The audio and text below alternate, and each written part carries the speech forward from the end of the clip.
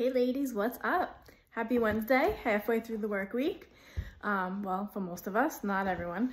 Um, but happy Wednesday, regardless of what part of your work week it is. Hope everyone is doing well. Um, I just wanted to show you, um, this is the Bella Lip Sense. So I have on the Bella and the Glossy Gloss. So I just wanted to show that to you. Um, if you don't know about our lip sense, please ask me any questions you want to know. Um, but basically, it's an amazing long-lasting lip, lip color that will last between 4 to 18 hours.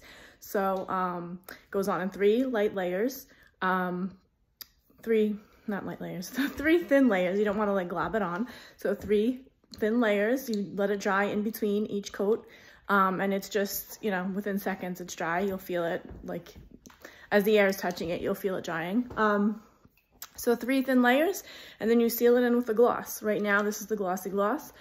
Um, in a minute, I'm gonna change it up and try another gloss to see what that makes it look like. So I just wanted to show you that. Um, and this is our March Madness. This is week um, four of March Madness. This is actually our last week of March Madness, um, which is all about lips. So all the products are on sale.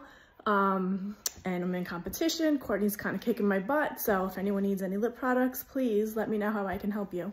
Um, so that is that. Um, what else was I going to say? I think that's all really. I will be back with another gloss to see what that looks like. If anyone has any questions, let me know. I'm back. How could I forget what I was going to say? One of the most amazing things, one of the most amazing parts of Lip Sense, how it is completely budge proof, smudge proof, kiss proof, nothing, nothing's there. So totally stays, you could rub it, nothing's coming off at all. So that's that. Now I'll be back with another gloss. And just more proof of how it doesn't budge.